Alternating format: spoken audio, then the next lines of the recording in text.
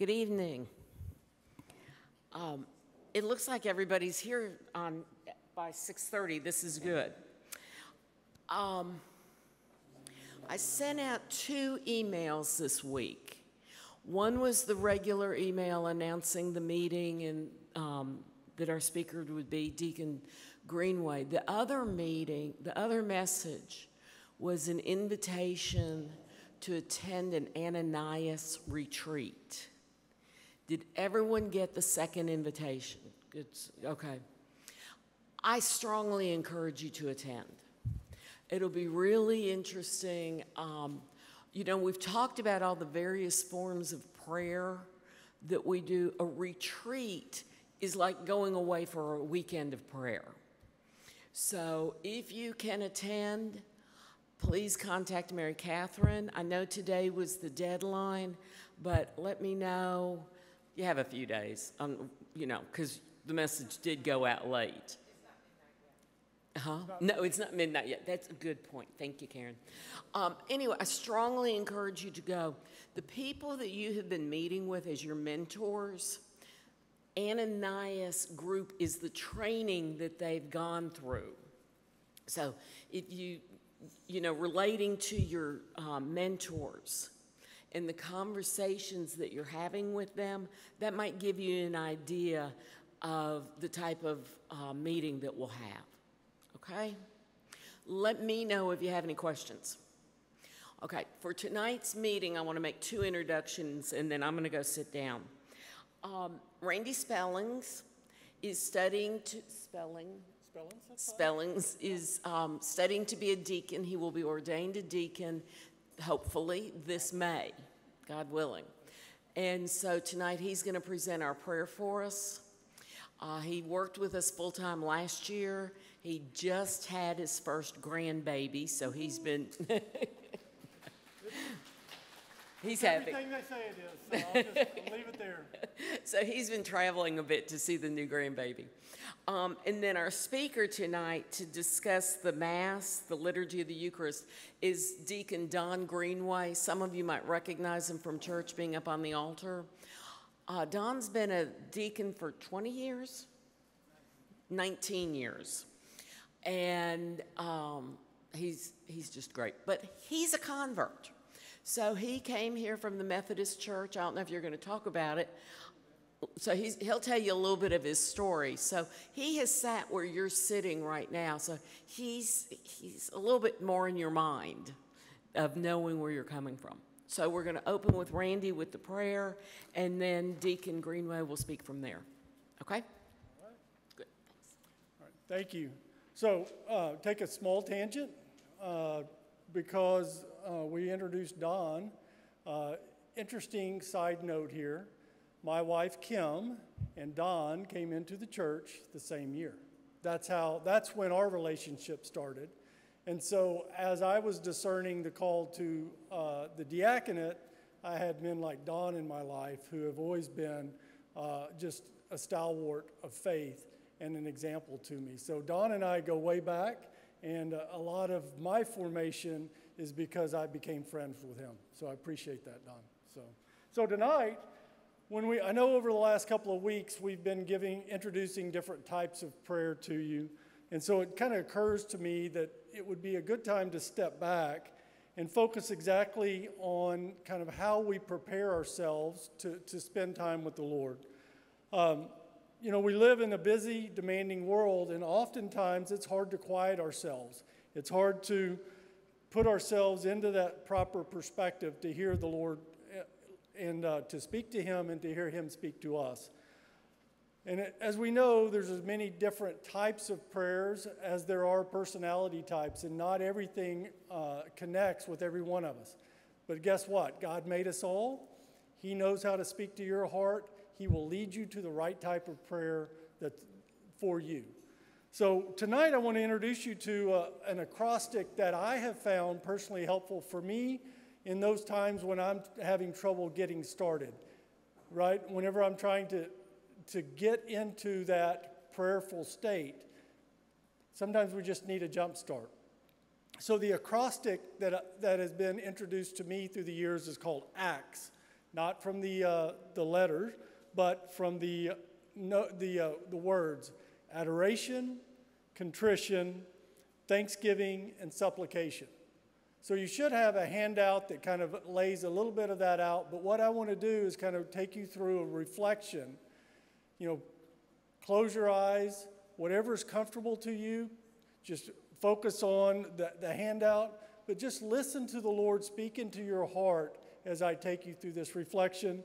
If you're so inclined, write down a word or thought that enters your mind so that you can take that back with Him into a deeper prayer at a later time.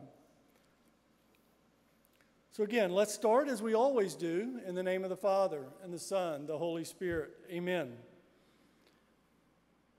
Lord, open my lips, and my mouth will pro- proclaim your praise. O Lord our God, you are worthy to receive glory and honor and power. For you have created all things. By your will they came to be and were made. Glory to God in the highest. We praise you. We bless you. We adore you. We glorify you. We give you thanks for your great glory. You are God, the mighty God, the great King over all the gods. You hold in your hands the depths of the earth and the highest mountains as well. You made the sea, it belongs to you. The dry land too, for it was formed by your hands. O oh God, you are my God, for you I long, for my soul is thirsting. My body pines for you like a dry, weary land without water. So I gaze on you in the sanctuary to see your strength and your glory. What is that great simple, symbol of your strength and glory? The crucifix. We ponder the mystery that your word became flesh and dwelt among us. For you so loved the world that you gave us your only begotten Son, Jesus Christ, so that we who believe in him may not perish, but have eternal life. It is a great mystery that we cannot fully understand, but only adore.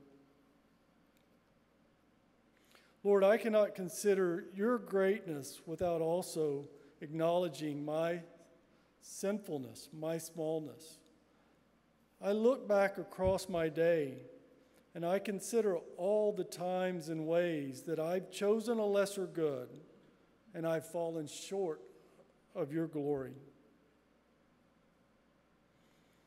For the times I have sinned in my thoughts, Lord, I'm sorry. For the times I have sinned in my words, Lord, I am sorry. For the times I have sinned and what I have done, Lord, I am sorry. For the times I have sinned and what I failed to do, Lord, I'm sorry. With a humble and contrite heart, I acknowledge these failures before you who are all good and deserving of all my love. Have mercy on me, God, in your kindness. In your compassion, blot out my offense. Oh, wash me more and more from my guilt and cleanse me from my sin. My offenses, truly I know them my sin is always before me. Against you, you alone have I sinned. What is evil in your sight I have done. Lord, while my sin is ever before me, I know that your merciful love is greater than my sinfulness. In spite of my shortcomings, you have blessed me in ways too numerous to count. I am thankful for the necessities of life which I take for granted a roof over my head, food to nourish me, clean water to drink, clothes on my back. These you have generously provided. I'm thankful for my parents, my siblings, my spouse, my children, my extended family, and my friends. For these loving relationships through which you have loved me and shown me how to love and to serve. I'm thankful for my work, a place where I can combine my gifts and talents to create value which is shared with others. I thank you for allowing me to experience the creative process, for giving me the opportunity to be of service. I'm thankful that you placed me in this free land where I can worship you in spirit and truth without fear of punishment. This is but a short list of the blessings for which I am truly thankful. Give thanks to the Lord, for he is good. His love endures forever. But more importantly, I'm thankful for the gift of your Son. For me and my salvation, he came down from heaven. And by the Holy Spirit, he was incarnate of the Virgin Mary and became man. I am thankful to have his example and his church to guide me in all things. To reconcile me to the Father, he willingly suffered death through crucifixion.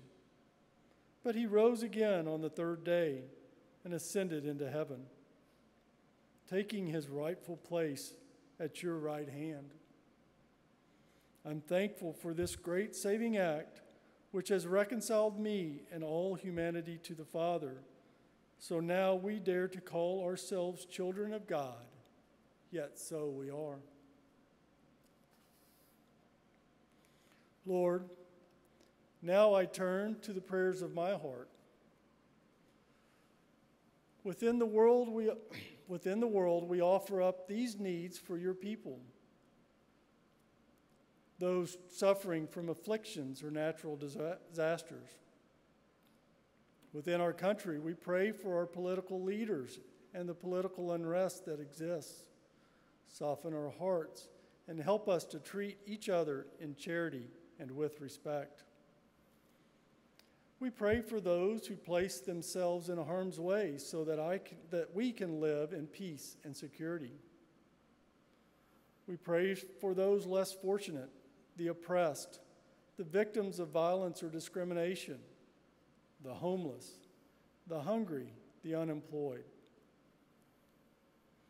Lord, within our work or our school locations, we have friends in need of your loving care and assistance.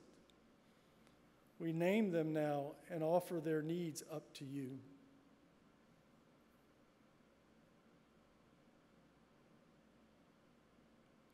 Lord, within our families, we also have those in need of loving care and assistance. We have relationships that need repair. We name them and offer them up now to you.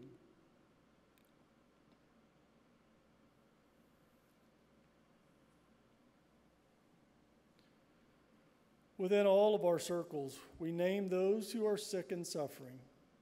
We especially pray for those impacted by our current pandemic. We lift them up by name to your gracious care.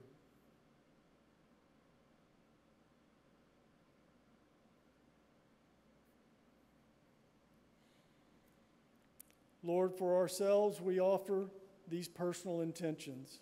We bring them from the depths of our hearts. Like the blind man, Lord, we want to see. Like the leper, Lord, we want to be made clean.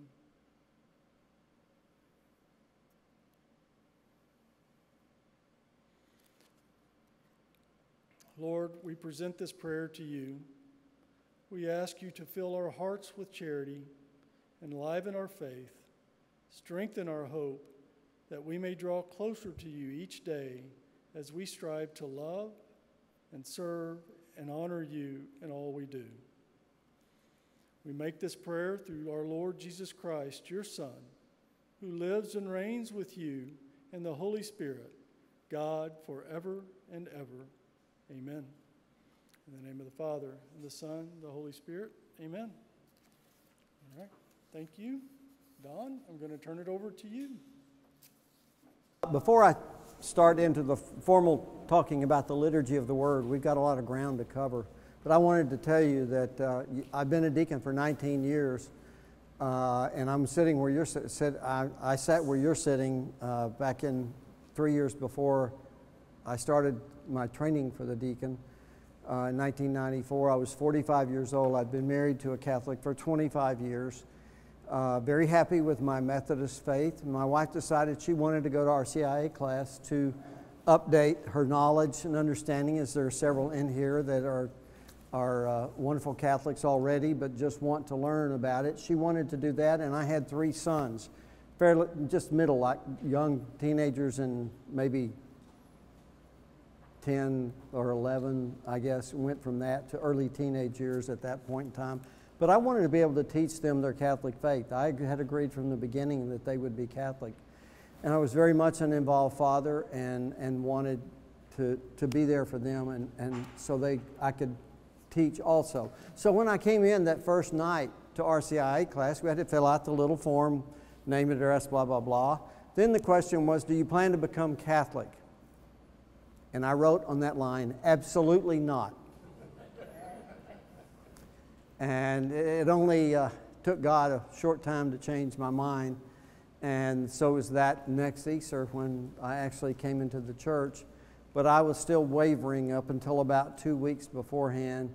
But I was so in love with the Eucharist, I couldn't stand not to be able to, to receive the Eucharist. And that you know, for me, that was the, the, it's the source and summit of my faith was the Eucharist, and it's the source, that's the source and summit of our faith. And, but we're not going to talk about that. I think Patty may have said I was going to talk about liturgy of the Eucharist. I, that, I think she said Eucharist. we're supposed to talk, talk about liturgy of the Word. But let me go back here and let's get started on the talk. And uh, we're going to talk actually quite a bit about what happens before we get to the Word, so to speak, because the Mass, we begin the Mass just like Randy did tonight by making the sign of the cross. We end the Mass with the sign of the cross. So the Mass becomes the ultimate prayer from man to God and from God to man. It is the ultimate prayer where we go through all of that adoration, contrition, thanksgiving, and supplication. And all of, actually all of that before we even start the, uh, the, the second half of the Mass, which is the liturgy of the Eucharist. And so I want to talk about all of that a little bit. There are some things that I remember as being a Methodist, a non Catholic, and, and I had not been in the Catholic Church. Uh, except for a few times with my wife because she was my best friend in high school. So I went to Christmas Mass with her and some things like that. And several of us did. The kids went, went together with them in small town of Paragould. Um, but so, so the, the one thing I, that's obvious, the first thing when you walk into a Catholic church, if you haven't been there, you go into a Methodist church or I, any of the Protestant churches, and everybody has come in and sat down and they start visiting and they talk. And you hear talking and rumbling throughout, so forth. And you come into our our church, meaning the Catholic Church, and it's like dead quiet. And you go, well, what's wrong with these people? They not care about each other? I, I had to get used to some of those things. And when I came in, believe me, the music here was just not too hot, not too good. And that was one of the biggest reasons I wasn't sure if I could come into the church or not, is because I really, and I couldn't understand why they didn't sing all the verses of the songs. And so I know you've gone through that because those are all tonight. I'm not a, I'm not, this isn't a formal talk. You're here to learn. So if I say something and I use a theological term instead of a term that you would maybe understand, just raise your hand or stop me, or if you have a question, raise your hand, and we'll just try to stop and take care of it right then if we can. If I say something that sounds unusual to you, and I've been known to say some wrong things at times, so. Um, but what I did not understand was the deep reverence for the presence of Christ in the Catholic Church. Now, when I say all this, you know, I really knew a lot of it by the time I had, by the time I came to RCIA class, but I still had a great ability to back my wife back into the wall with questions that she couldn't answer. So it was probably good for our marriage that we both came together and, and spent this time and learned together. I just didn't expect when I did that that I was going to be entering into full communion with the Catholic Church in less than a year. Um, and so it, it, it was a real surprise for me. Let me just talk or open this with, with a quote from Robert Barron. We're actually doing a series at Men of Faith here in this room on the Mass. And it's, we're looking, we're watching his videos, and, and he opened this, uh, his sessions on the Mass with this, and I wanted to just go through it because I thought it was a good, good quote. So this is a quote from Bishop Robert Barron, who's one of the best homilists you can ever hear if you want to listen to him on, online. He's really good. Not, notwithstanding, we've got great priests, but I think they would even say, I suspect they listen to him sometimes too. He is, he's outstanding. Mass is a great call and a response between Christ the head and his mystical body, being the church, the people. There is no more intense, privileged way to relate to Him than at the Mass, a time of adoration. Ad ora, as he says, ad ora, adoration actually means mouth to mouth, connecting mouth to mouth, aligned with God. A great time of worship, a conversation with God. He speaks and we speak back, and that's what Mass is a time when heaven and earth join together. We feel like that there are angels present in our sanctuary because we have the body of Christ actually present in the Eucharist. And when, the, when you have the body of Christ, you, you have angels there.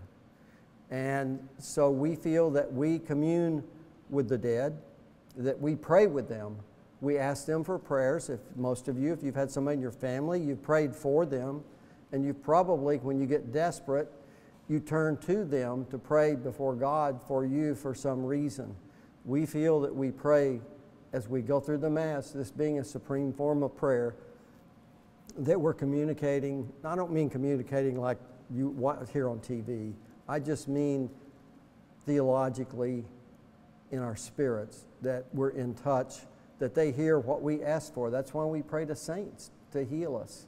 And we pray to Mary, we pray to Joseph, uh, all, of the, all of the saints. And the saints become all of your friends and family who have died and are in heaven. If they're in heaven, they have been, they are, they're considered a saint in heaven.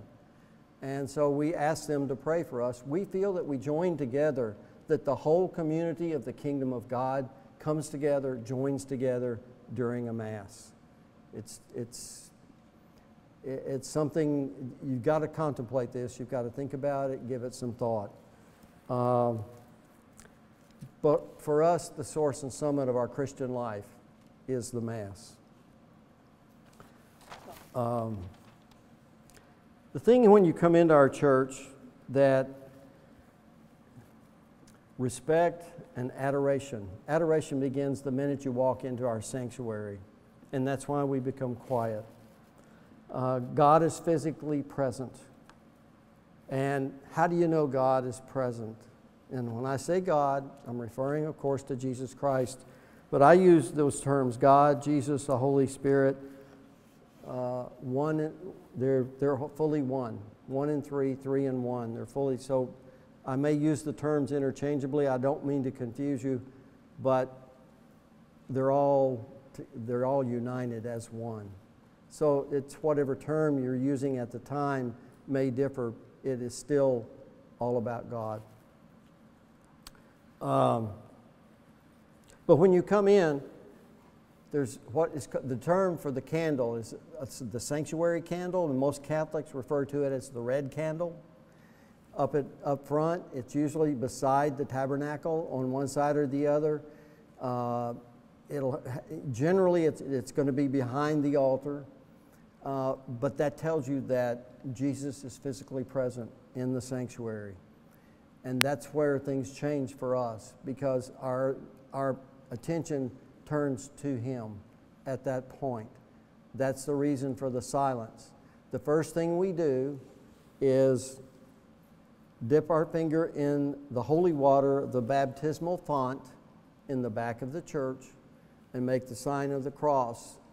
And at that point, we're renewing our um, baptismal promises. What are those? This is a book that we use to baptize people, babies, infants, children, adults. And one of the things in the rite is that you ask the people, and obviously, if it's a child or an infant, the parents and the godparents for the child. And so the questions are Do you reject Satan? And the answer, of course, is yes, and all of his works and all of his empty promises. So when you hear somebody say to you, uh, relate something in the preaching that they're talking about, this is uh, relating to your baptismal promises, this is what they're referring to. The last three questions are Do you believe in God the Father, Almighty, creator of heaven and earth? Do you believe in Jesus Christ, his only Son, our Lord, who was born of the Virgin Mary, was crucified, died, and was buried, rose from the dead, and is now seated at the right hand of the Father? Do you believe in the Holy Spirit, the Holy Catholic Church, the communion of saints that I just mentioned, the forgiveness of sins, the resurrection of the body, and life everlasting? Those are your baptismal promises. Hopefully, you answer yes to each one of those. You get the opportunity to do that at Easter. But you will hear about it at other times, believe me. It's said over and over. This is our faith. This is the faith of the church. We are proud to profess it in Christ Jesus our Lord. We'll get to the creed later on that we say right after the homily at every Mass and it says just that's the summary of what it says in the creed. So if anybody asks you, why are you joining the church? What do you believe? It, when we get to it, that's what we believe. The creed which we, re, which we recite is what we believe. There are some other things. When I came into the church, I still didn't know what to think about purgatory, the authority of the Pope, or Mary. I knew all about it. I just wasn't sure. And they kept telling me, you don't have to believe everything. You need to know about everything, and you need to continue to search. It didn't take me six months till I bought into everything, 100%. It just, there's, when you start at that point to receive the Eucharist, it, things change. Life changes. It never will be the same. So, uh, I don't want to get on that. That's next week, but it changes everything for you. But I want you to understand so when we come in, we get silent. We make the sign of the cross because for all Protestant churches, including the Methodist, everybody, the Trinity is the number one doctrine. The Trinity is always. So that's what we make that the sign of the cross and the holy water is to renew our baptismal promises because you're coming into church, that, that's what you're, you're literally doing, but you say this to yourself. And um, then, if that red candle is present, you, as you go in to the pew, you see people either genuflect or bow. And that is the reason for that. It's acknowledging the presence of Jesus Christ, physically present in there with you. Uh, the other thing, and I like this, it said, you're acknowledging that you're claimed by Jesus. When, when my family goes out to eat, we make the sign of the cross and we say the prayer before we eat. And I liked what it said here is that we're, in essence, branding ourselves. Just like a cow is branded and it says who that cow belongs to, The sign of the cross says that I belong to Jesus Christ and to the Trinity, to God. I have, this is my faith, and I'm going to live it, and I'm going to show you I'm going to live it. Took me a while to do that until one of my sons said to me one day at McDonald's on Cantrell. He was about 12, 13 years old, the oldest son. And he looked at me and he said, Dad, how come we pray before we eat at home, but we don't when we go out to eat? And so, I mean, I, from that point on, I was convicted. And those are just things that kind of change your life if you're willing to, to give your life to your faith. Uh, when we enter the pew, most of us uh, immediately kneel down to pray. And you know, our prayers are really starting. They, they, you're going to repeat this when the Mass starts, but it's good for us individually to kneel down and to start talking to Christ at that point. He's right there in front of you. And uh, it, it's a very special time. And that's why we don't like for people to talk, because people are, the point once you're in church is to focus on your relationship with Christ. Um, and I know if, if you've got grandkids or kids, you know, and they're crawling all over the place, it's hard to do that. But that's the goal, that's what you try to do. And I even talk to men that have kids about making an effort to spend a, find a time when you can go to Mass occasionally by yourself because there's nothing, it's, it's very special when you can be there alone and focus on nothing but you and God or you and Christ uh, and not all the other things that are going on around you. It makes a huge difference. Everything that we do in Mass, everything that, as I'm going to go through here, that we say or that we do, whether we stand, sit, kneel, make the sign of the cross, bow our heads, whatever we're doing, everything is intentional and has a purpose. There's something going on constantly. Whether it's, it, it does, just doesn't matter as we go through here. There's so many things. It never stops, it's continual. But in that, try to focus. The biggest thing you can do is focus on what's happening up front and what Christ is doing there with you. So, Mass begins. There's the procession led by the cross, of course, the crucifix. Um, the priest, at that point, when Mass begins, and when we call this, if you'll, you'll hear us use the term the liturgy of the Word, the liturgy of the Eucharist, and what, I, I'm not sure I knew really what liturgy Liturgy, uh, Father, you may want to define it differently than I do, but liturgy is the public, is the, the public worship. Public worship. And there's an order to public worship. So we refer to that order of public worship as the liturgy. Do you, either of you have anything you'd like to add to that? Uh, an order of public worship. That's what liturgy means. That's all. But in Mass, it has a specific, there, there are do's and don'ts in what we do in the liturgy because there are some things we do. Let me give you a case that when, when people bow coming up to read, it's one of my pet peeves, is a lot of people, and they, it's because they don't understand.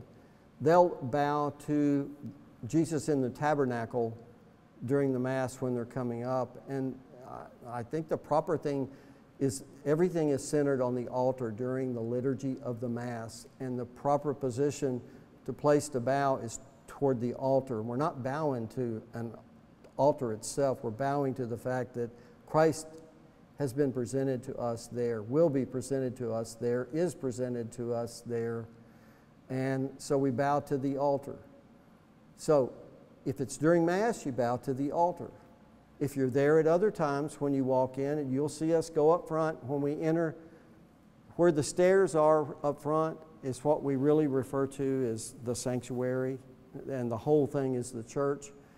But the sanctuary would just think of from the Old Testament as the Holy of Holies.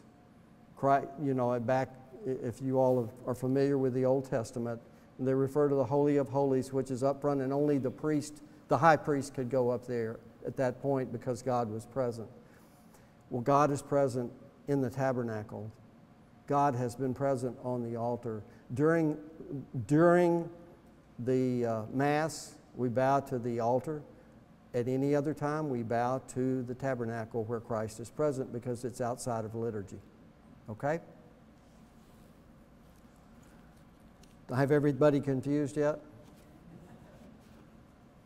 What, why are you, tell me what's confusing. What, it just, the liturgy is a formal service.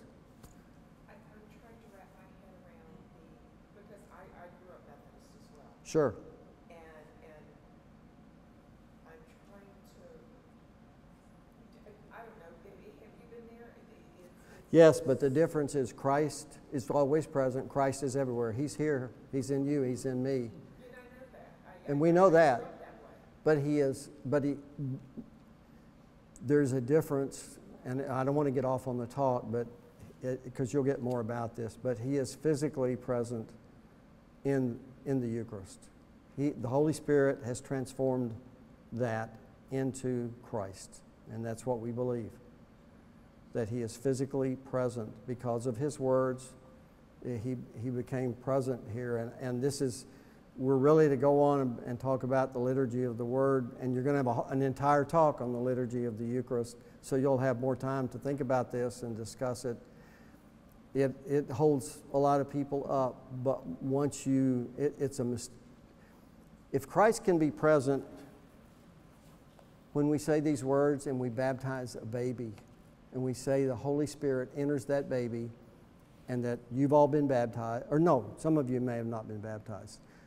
If you've been baptized, the Holy Spirit, entered you. God entered you physically. That's a sacrament. That's necessary for God to claim us before we have the ability to receive Him in the other sacraments. Okay? If you've previously been baptized, you- you're not going to be rebaptized. We don't do that. We believe in one baptism. Okay? In the name of the Father, the Son, and the Holy Spirit. And, but all I'm saying is, you have to go from that knowing God comes into me through the words of that minister and the, and the, the use of water, we have been baptized, as we're told in the Bible that we are to be baptized to receive Christ. If he can do that, then he can also do anything else in the sacraments where he's told us in Scripture that he will come to us. And that we are to, to again, I'm not talking about tonight the, the Eucharist, but it's, you have to go, we have to talk about it some because of what we do as we come into church is because of this. It's because of what we're saying that he is physically present. Okay? And so when we say the Eucharist is in the tabernacle, whatever is left over that has been consecrated by the Holy Spirit to become the body and blood of Christ, it, different from some of the other Protestant churches where they believe that that becomes Christ only during the liturgy. And is after the liturgy is over then he's no longer present in it. Catholics that's what sets us apart.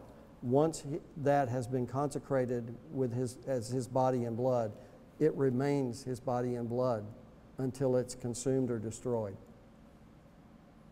so we we treat it as if well we treat it carefully because he is present that's the reason for the silence that's the reason for the reason that we kneel so you've got to get there to understand why we're doing all these other things. Okay? Any other? I mean, let's get it out and talk about it now if you can't, because that's the beginning of the Mass, and this is what we do, and, and that's why we do it. Okay. So, um, at times, you also may see something else that's different is incense. And incense is right from Scripture, right out of the Old Testament, also in Revelations. Uh, everything, everything that we do has a scriptural basis for it. So please understand that. And there are some books over there that I have for you. And this is Gus Lloyd is a, a really neat guy that's on the Catholic channel on XM radio, channel, I think it's 119, but I'm not sure. Uh, he came here and talked. He sells these books. He, he decided because the, the, one minute means it takes you one minute and you can answer whatever question, whatever is at the top, he'll explain it, and almost everywhere he references scripture. So, so uh, a perfect example would be the, uh, uh, the altar. Here's one on the altar, and he explains it for you and references scripture for you. Um, so look, take these with you and read through them uh, to help give you some, some under, better understanding of what we've said here. Because I'm, I'm going to cause some confusion, and, but this is very important that, that, again, the Mass is the focus of our faith. Uh, incense is used because it's just simply to represent the prayers rising up to God. So the entire Mass is a prayer. And so we enter, sometimes, are, are we using incense on the procession now? I think we are, are we not? Uh, we haven't been using incense for a long time. We now have new altar servers, so we're, we're training them to do incense because it is a definite part of the Mass. Uh, if you are allergic to incense, let's talk about practical things here. If you're allergic to incense, there will be one Mass each Sunday that does not use incense. Okay? And the others will, unless all the servers are fourth or fifth graders and they don't know how to use incense, we, we don't use it, obviously. But if we have older servers, we'll be using Mass at all, all of those, I mean, we'll be using incense at all of those Masses. So we bring it, it comes in with the, with the procession. Uh, and then the first thing the priest does is walk around and incense the altar. This is where the body of Christ will lay. And uh, it, like I said, it's the focal point during the Mass of where everything, the center of where everything takes place. So it's incensed, and, and, and then the gospel is incensed, and then the altar and the cross are incensed um, at the time of the liturgy of the Eucharist. So there's three times we use it. So there's a fair amount of incense in there. So uh, if you're allergic, you, you would want to. Uh, which which mass is it that we're not using it? 8, 8 a.m. Okay. Okay. So otherwise, sit in the back and and because it it's not going to go away. so, the first thing that we do then is after the deacon and, and the priest uh, uh, kiss the altar, we go over, and the priest calls us to, at that point, acknowledge our sins. And let me just say here this would be, again, if you haven't had the talk, this would be the venial sins, or what we would say the minor sins, as opposed to the mortal sin or major sin or cardinal sin is the term we use for the major sins. Uh, you, you really, as a Catholic, should not take communion or receive any of the sacraments if you're in a state of mortal sin, if you've not gone to confession for something that you did. And, that's a talk for another time. It would take us all night to talk about the, those differences. But just venial sins or minor sins, those are forgiven, and we're trying to get ourselves in a state so that we're uh, uh, that we can receive Christ's presence in His Word and in His body and blood. Um, so that's the purpose. So the first thing we do is referred to as either the penitential act or the penitential rite um, is the priest will lead us in, in with what's called, I'm, gonna, I'm just throwing this term out so you've heard it, Confiteor, which is to ask God to forgive you and, and to ask for mercy. And we start that with the Confiteor, which is led by the priest. Uh, and then you'll sometimes you'll then hear him say, uh, the deacon or a priest will say, "Lord have mercy, Christ have mercy, Lord have mercy." We repeat that afterwards. So this whole time we're really coming to God to acknowledge His presence and then ask Him to forgive us of our sins, so that we're ready for the rest of the that part of the part of, parts of the mass that you're going to see written there, which would be the liturgy of the Word and then the liturgy of the Eucharist. Um, after that, we sing a Gloria, and that's the praise uh, that he mentioned. You can think of it as thanksgiving, but we're praising God as his angels praise him.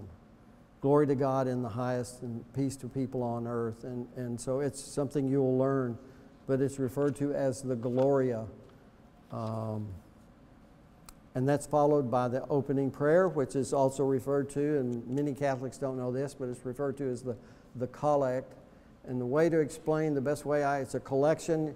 You're hearing everything that's brought, that we've done so far is brought together in the prayer before we start the liturgy of the word, which is the next step uh, after the prayer. You'll, uh, it sort of summarizes the praise, the thanksgiving, uh, the confession, the singing, everything together. So it's referred to as the collect. So then begins what you're here for to listen to tonight. It's the liturgy of the word. That's the next step. Uh, and there was no easy way to get to that because you need to understand what's happening prior to that. Um, this is the first major section of the Mass. Uh, it's a great encounter where God speaks to us and then we respond with, with psalms or song or prayers. Uh, a lector, who is a lay person, as you'll see, will walk up front. That's when I mentioned to you that, that you know, they will bow and they, they should bow to the altar. Uh, and they will do the first reading, and then we do a psalm, which is always on Sunday Mass, it's always sung. On a weekday Mass, we, uh, we, um, we say it, we don't sing it. Um, and then we do a second reading, and then we'll come to the gospel. But let's, let's back up a little bit. Please understand that as Catholics, we're a Bible church too. So we read four readings every Sunday in every Mass, in every church in the world. And on weekdays, we read three readings. The first reading on Sunday will always be an Old Testament reading because we feel like Christ is present in the Old Testament and fulfilled in the New Testament. Um, we use completely different books to read from on weekdays than we do on Sundays because Sundays are divided into three different um, groups of readings that go for a year. So we just refer to them as year A, year B, and year C. Uh, and it just rotates ABC, ABC, ABC, ABC. Weekdays are divided into two different sets of readings, so it's year one and year two. So that in a three year cycle, if you went to every Mass every day, you would hear, and I've read various people quote 85%, then I've read it go down to 75%, depending on who you're reading. So you can see it somewhere between 75 and 85% of the Bible you will read at least uh, uh, in every chapter of a very large part of the Bible. Okay? Have I made all, is that clear? So Sunday is A, B, and C, so it's a rotation that goes on for a year. And then every year at Advent, we start a new year. And so it just, so it just remembers A, B, and C, and it's four readings on Sunday. An Old Testament reading, an apost- then the Psalm, which is always sung on Sunday, and then an apostolic reading, and it's from the apostles, which is Paul is included in this. Uh, he, and then, uh, and then of course we read the gospel from Matthew, Mark, Luke, or John, and that will vary. But every year A, it's always the same reading. So after three years, it's repetitive readings. That allows us as homilists to go back and use an old homily. No, I'm just joking. just joking. Uh, at the end of the reading of the Old Testament reading uh, by the lector, they say the word of the, the word of the Lord. Um, and um, I'm blanking. The response is, uh, thanks be to God. And yeah, yeah, it's always. Um, so the psalm is always sung. Uh, we also, besides Sundays, I'm sorry, uh, we have what we call feast days. And those are special high holiday. Uh, it would be to you a holiday. It's not a holiday. It's a special, like uh, for Mary, uh, for certain, for the apostles. Uh, what else? For feast days. Mary and the apostles.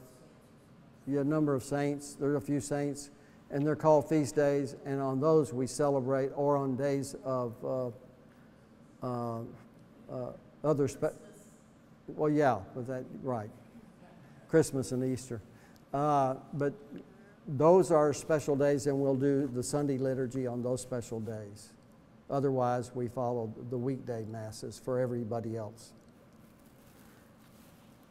Um, the, as I mentioned, it's important that you understand about our church being an apostolic church, that why some of these things are done, like only the priests or the deacons, who are the, the people that are ordained, uh, will read the Gospels in our Mass.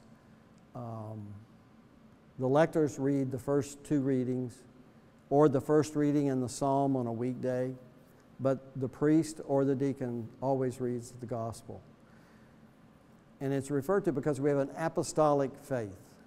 And an apostolic faith means that Christ ordained Peter and the apostles. Peter as the, the first pope and the apostles. They literally became the first bishops. And then they ordained other bishops. Ordaining meaning by laying on of hands and declaring that they have certain powers or abilities. Um, and so bishops can actually go back and follow all the way back to the apostles, the line through which they were ordained to the apostles that were ordained by Christ. And so we refer to our faith, one of the marks, or four marks, but one, I'm not going into that, but one of them is that it's apostolic. And so that's, that's why what takes place by, only by the priest or the deacon uh, is because they have been, we have both been ordained by the bishop to function in our functions as, as we're allowed to do. Okay? So if somebody talks to you about being an apostolic church, that's what we're referring to, and it goes all the way back to Christ. So if somebody says, Who started your church? Christ started your church, and everyone since then has been ordained through his line. Okay? Uh, we feel that Christ physically comes to speak to us that we have some people who, who before we had gluten-free hosts, couldn't take a host and they could either receive Christ in the wine or we could also tell them they would receive Christ fully in his word. We feel that Christ is present in his word and he's referred to as, as the word with a capital W. So he comes to us physically through Matthew, Mark, Luke, and John. Uh, Bishop Barron, this, uh, you know, his comment was that Christ is fully in person, so, to, so as to speak to us. Uh, and he said, yes, by all means. The clearest and the most direct words in the scripture are from Jesus. And this is the reason that we also use incense at this time, because we feel that he is coming to speak to us in his word. So it's, it's a special time. Um, but this thing about us reading the gospel is not a power thing. It, it really is, it's based on the, the authority that we've received um, through the bishop from, from the beginning. Um, we close by saying the gospel of the Lord, not the word of the Lord. And again, the response is thanks be to God. Uh, you will see us do some other things. I, I'm not going to cover every little thing, but uh, after we read the gospel, we kiss that book. And once again, for us, it's, it's like we kiss the altar, we kiss the book. Wherever Christ is present, we, we, clo- we begin and or close with a kiss related to that as a, a, a sign of affection and authority uh, that he is who we live for. And uh, um, so, next, after the reading of the gospel, is the homily. It's also done only by an ordained minister, which would be a bishop. I didn't mention earlier, I said a priest or deacon. A bishop, priest, or deacon uh, would, if the bishop is present, he is the one to kiss the book. Um, but in the homily, it's either done by a bishop, priest, or a deacon. And I'm just going to go through a list of things here about what it's not. It's not a talk by a speaker, it's not a pause in the liturgy. It's not considered a sermon in the sense that it's required to be about the readings uh, th- uh, that are about the readings in gospel that have been read. Um, and this varies from the Protestant churches because I know when I was sometimes the priest would have a, he would choose a, a reading of his choice to fit the topic he wanted to talk about. Um, and sometimes the readings would be about something, and his talk would be about, he would get off and talk completely about something totally different. Uh, that's not supposed to happen in our church. Uh, the, the, the topic is to relate about what the readings are there to teach you about your life and what they mean, what they meant at that time, and what they mean for your life. And therefore, we are to try to bring this together. And sometimes the homily will only be uh, about one reading or the gospel. Sometimes it will come together because sometimes, more often than not, the first reading, the Old Testament reading, and the gospel reading come together. But there are other times when they're the exact opposites of one another, and that's how the, the homily has to be directed of looking at the differences of what was said then and what, what was said by Christ as being different. Um, the second reading uh, is, is frequently just totally out in left field and doesn't relate. The first two readings can relate. I'm, I'm just saying this for people who haven't heard it before, but sometimes through prayer and study, we can see what was intended by the second reading when you might read it and think it doesn't relate to the gospel at all.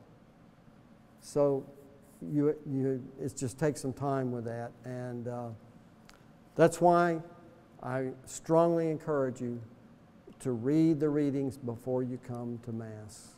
It will mean 100% more to you if you can do that. It, it's just to hear it quickly read and then to hear it preached about.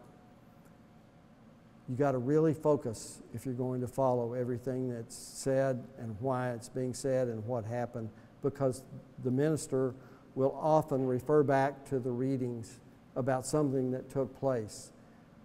If you're like me, if I paused and was out in left field or reached over to grab one of my kids and didn't hear something, it, it, then sometimes the homily, you're not sure where he's going and what it's about. But often, if that's the case, it's because you've not been able to listen to what was, what was in the gospel or what was in the readings. Uh, it's very important, if you can do it, to do it ahead of time. Then you have a much better feel for what's, what's, going, what's being said. Um, so, my recommendations here, besides reading before you come to Mass, is it, it, if you bring a small pad and take a few notes, it's really helpful to, when you leave, to talk about it or to think about it. Just a few notes, uh, maybe even just a couple, uh, whatever the main thought you had of something that, that taught you something. And I always say, if you can leave a Mass from hearing the readings and the, and the homily and you hear one thing that changes your life, then in a year, you've got 52 things. And you can't tell me you're not a tremendously better person if you've absorbed 52 things during the year that was said to you. So it, it's so good to just try to focus on getting what you can, but if you get one thing good, that don't feel that's good. That's good. Because when I preach, if I, if I said one thing that changed somebody's life to every person out there, that would be huge. And that obviously that doesn't happen, but that would be huge. So if you get one thing every time, you've really done something very positive. Uh, and I, I just added, just yearn to grow closer to Christ in His Word. That's, that's where we know Him. That's, and Christ is the Lord. He's God. He's, he's telling us what to do, how to live. After the, after the homily, we do the creed, which is our profession of faith. I brought the Catechism of the Catholic Church to show you how important the creed is.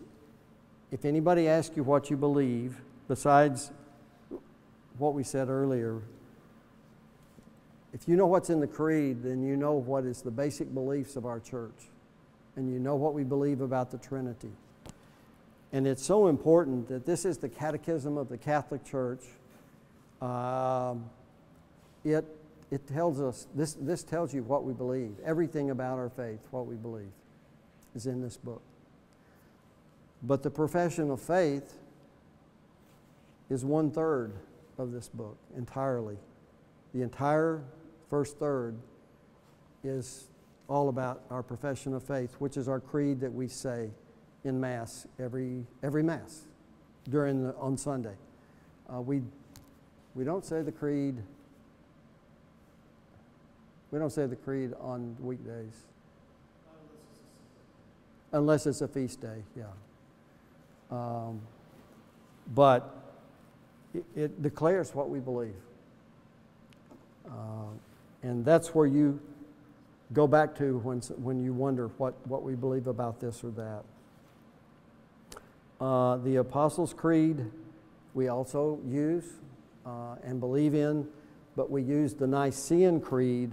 It's really the Nicene Constantinople, Constantin, Con, Constantinopolitan Creed, and there's a reason we don't use the second part of that because I still can't say it after saying it a thousand times. Um, it's based on the Council of Nicaea in 325. Uh, all, all of the uh, uh, councils that were held in the Catholic Church are basically held because there was a problem in the church and uh, uh, heresy had occurred. And so they met in these councils to sort of, to what I would call straighten out what was taking place and what was being argued about. The first one was the Council of Nicaea. And so that's what our creed is, the Nicene Creed, because it declared that the relationship between the Father and the Son and, and the Holy Spirit. The, the Constantinople Creed that was in 381, I believe, uh, just added about, all it added was about the Holy Spirit and how it, it uh, comes from both the Father and the Son. Um, but that's, that is our belief, so that's why we say it every, uh, uh, at church. After the creed, then, as, as Randy said at the, in prayer, you end with supplication. So we end with what we call petitions or prayers to the faithful. And those are prayers that are uh, said that we offer for the church, for the world, the needy, the sick, um, and, we, and for the assembly, those present in the, in the church, and for those who have died. And I think something important to hear, uh, two things. If you ever want to be on that, you have to call the church, or if you want somebody in your family that's in the hospital seriously ill to be on the prayers to the faithful, you have to take you have to call the church office to see that that happens. We can't just oh so and so's in the hospital, we need to put her on the list. Well, some people are very private about their illnesses and sicknesses and and don't want to be uh, want things to be known publicly. But we usually have a very long list. In fact, it's so long now, it's printed in the bulletin instead of reading it. We used to read everybody on that list, and it took a while. Now we put them in the bulletin, and we usually mention the new people that are on the list when we actually say their names during the prayers to the faithful. Uh, but it's important to us, and I think what this says for me is this exercises the priestly office of all the baptized.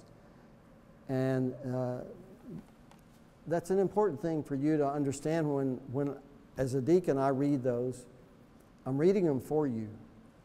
So it's important to listen to what's being read, to what we're asking God for, because we're asking it on behalf of all of you. You know, anything that we do up front, when the priest prays, he is praying for all of you. Not just, he's not just talking to God, he's praying for everyone there. He, he acts as our representative, so to speak, in speaking to God. When the deacon offers these prayers, he's praying them for you. Uh, so, they're a very important part of our Mass. Um, and it's important to those people in the hospital and the people who are seriously ill and the families who have had one, their family members to die to know their church is praying for them. It makes a big difference. And we certainly believe in the power of prayer as, as offered from the entire group. Okay? The scripture says the power, the, the uh, power of a righteous, the prayers of a righteous person are powerful. And I think that's pretty much right out of Scripture. So we need to, we need to live that, and that's what our church tries to do. And this brings us to the end of the liturgy of the Word. When the prayers of the faithful are over, uh, we put the book down and start to prepare the altar and move into the liturgy of the Eucharist, which you'll talk about next week.